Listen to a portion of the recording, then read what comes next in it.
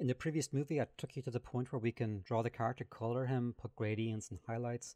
Now, a very quick note on another technique that we can use to help us control all of this information. So I'm going to get rid of the Alien 3. I'm going to get rid, I'll keep Alien 2. Let's get rid of the, actually we'll keep that one for now. Why not?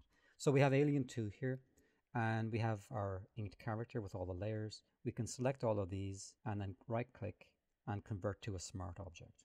Essentially, this is turned into a symbol. So if you're familiar with Animate CC or other software that nests all of those layers inside another object, this is it. If I double click on this, all of our layers are still here, including the ink layer. Uh, let's close that.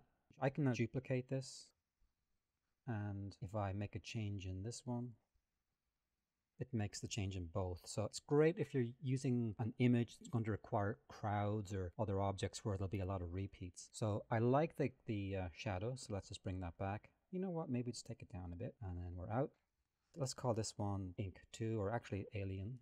Call it A and alien B.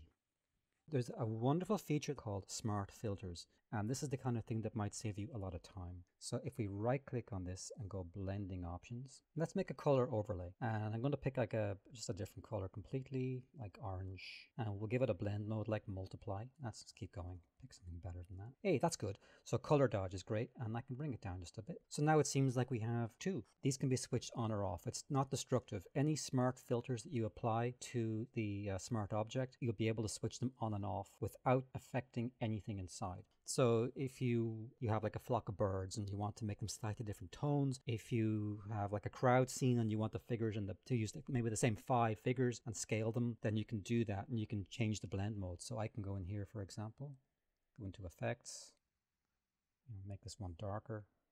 As you can see, I'm just bringing them down now. So I could pick black and make them darker and darker and darker or even lighter.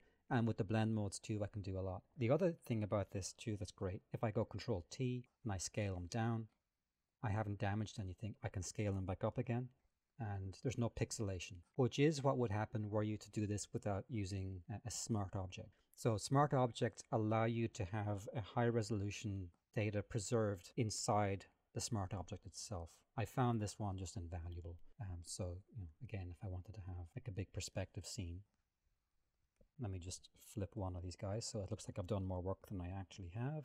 And this time what I'll do is I'll go into color overlay and make it black. And that should look like he's more shadowy. Color dodge isn't good for this. Let's go to multiply. This guy's in the shade. If I had like a big perspective scene and they're inside the flying saucer or whatever. You get the idea. So if I drew like four or five of these uh, little alien guys, then I would be able to change the color, change the, the size. And if I ever wanted to make one alteration, all I have to do is go into Smart Object and I'm good to go. If I did want to make an absolute change, another great feature of this is I can right click on this and go New Smart Object via Copy. And now I've got a new version completely, call it C. And now I can change this guy completely. Like I can take the shadows off or just make it worse. There we go. Now any change I make to this will be different. So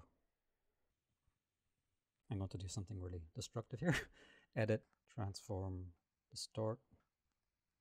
So just so you can see the point. And now we have this guy here distorted. Doesn't affect the other two, it just affects him. So let's get rid of that. So those are our smart objects and better still, smart filters, which are tremendous. And if you're working in an older version of Photoshop, I'm not sure that they had uh, smart filters in that one. That's it. That's a very quick overview of how I draw my cartoon characters, how I mask them, and give myself complete control at every step of the process. So if I ever want to make a change, if you have a picky client or a picky boss, or you're picky and you're, you can't quite decide, it's a fantastic way of doing it because then you can change at any step in the process without taking too much of a penalty.